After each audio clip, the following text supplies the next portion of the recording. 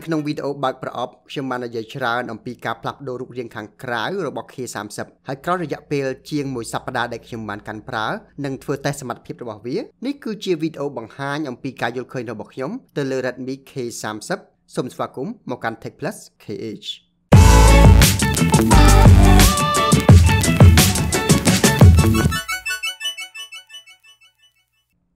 នៅលើទីផ្សារយើងឃើញមាន K30 model 5G ដែលចេញមកជាមួយគ្នា តែមួយនេះគឺជា model 4G ធម្មតា វាមាន IR Blaster វាអាចបន្ថែមកាតខាងក្រៅបានរហូតដល់ 256GB ឬក៏មិនថែម memory card ទេ យើងក៏អាចប្រើ SIM បានពីរផងដែរដោយសារតែទូរស័ព្ទភាគច្រើនមាន stereo speaker ភ្ជាប់មកជាមួយអញ្ចឹងហើយការស្ដាប់សំឡេងចេញពី speaker តែមួយធម្មតានៅលើ K30 គឺជារឿងលំបាកបន្តិចហើយរូបរាងរបស់វាក៏ក្រាស់បន្តិចដែរ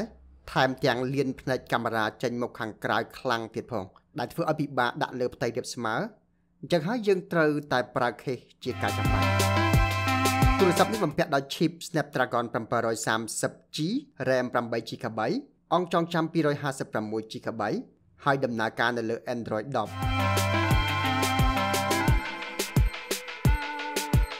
រាល់ការប្រើទូទៅគឺមានល្បឿនលឿនធម្មតាមិនចោតជាបញ្ហានោះទេ game រត់យ៉ាងរលូននិងមាន graphic smooth ក៏ប៉ុន្តែអ្នកមិនអាចមើលឃើញនៅលើវីដេអូនេះទេព្រោះតែវីដេអូនេះ play នៅក្នុងកម្រិត24 frame តែប៉ុណ្ណោះ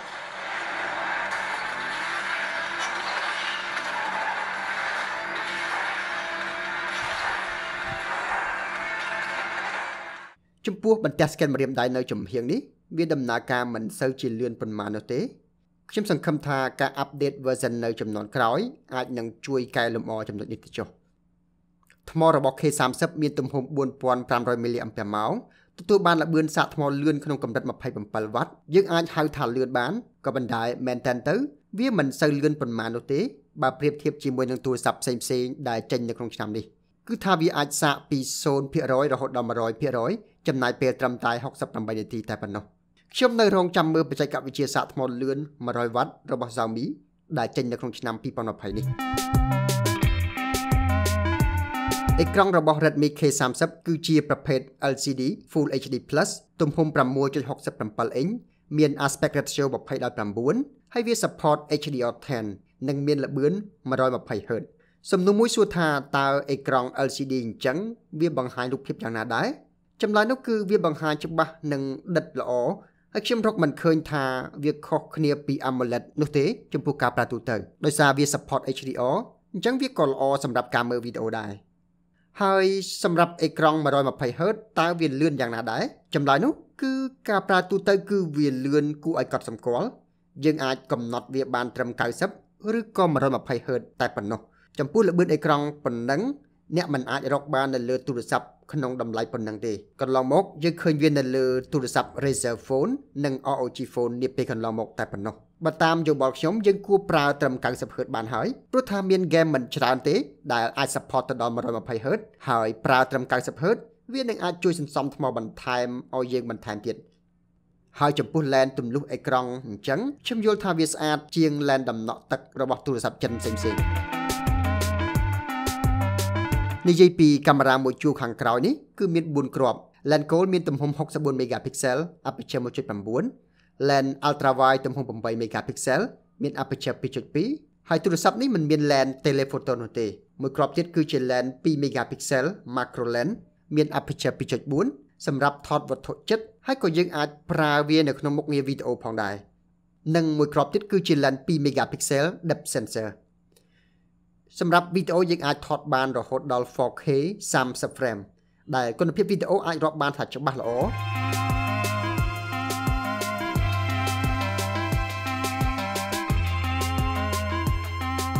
ហើយវាភ្ជាប់មកជាមួយនៅ vlog mode ដែលយើងអាចថតជាមួយនឹង effect ប្លែកៗសម្រាប់បង្ហោះជា story នៅក្នុងបណ្ដាញសង្គមជាដើមកាមេរ៉ាមុខមាន2គ្រាប់មួយគ្រាប់គឺជា lens 20 megapixel aperture 2.2ហើយមួយគ្រាប់ទៀតគឺជា lens depth sensor សម្រាប់បង្កើត effect real background ហើយរូបភាពចេញពីកាមេរ៉ាមុខនេះគឺវាថតបានភ្លឺល្អនិងមើលទៅឃើញ detail ល្អល្មមប្រើនៅក្រោមពន្លឺថ្ងៃគ្រប់គ្រាន់ហើយចំពោះកាមេរ៉ាមុខនេះ វីដេអូយើងអាចថតបានរហូតដល់ Full HD 30 frame per second វាថតបានល្អច្បាស់គួរសមលើកលែងតែពេលដើរវាញាក់ខ្លាំងនិងពិបាកថតសម្រាប់ blog លេងជាដើម Redmi K30 មានតម្លៃ399ដុល្លារមានលក់នៅហាង Hartley Black Store មានទីតាំងនៅក្បែរសាលាសន្ធមុខខ្ញុំនឹងដាក់ link ទៅកាន់ Facebook page នៅក្នុង description ខាងក្រោមសរុបមក Redmi K30 ជាទូរស័ព្ទដែលប្រើយុទ្ធសាស្ត្រតម្លៃទាបនិងវិកខ្ចប់នៅកញ្ចប់ផលិតផលដ៏សមរម្យសម្រាប់អ្នកប្រើជាទូទៅអ្នកគ្រាន់តែមិនទទួលបាននៅ stereo speaker តែប៉ុណ្ណោះយើងអាចសាកល្បងនៅល្បឿនអេក្រង់ 120Hz មានឡេនទម្លុះអេក្រង់ជាមួយនឹងរូបរាងស្អាតអាចបន្ថែម memory card ខាងក្រៅបាន មានទំហំថ្មធំ មាន fast charge និងនៅតែមានរន្ធត់កាសជាដើមសូមអរគុណជួបគ្នានៅវីដេអូក្រោយ